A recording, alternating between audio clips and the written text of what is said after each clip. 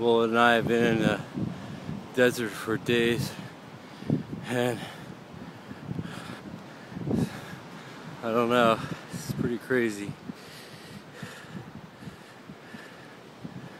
Nothing for miles.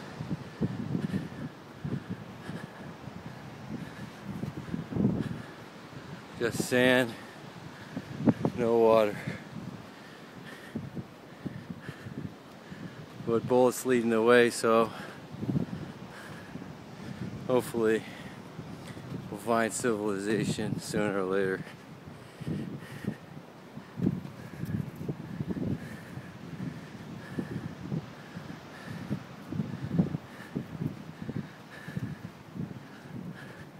think I'm gonna wrap a towel around my head and become one of the Bedouins. And it looks like somebody left their water here, ran out of water, and just uh, gave up. Maybe went down over the side of the sand dune. I have no idea.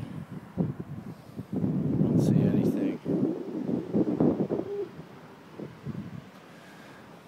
It's pretty scary.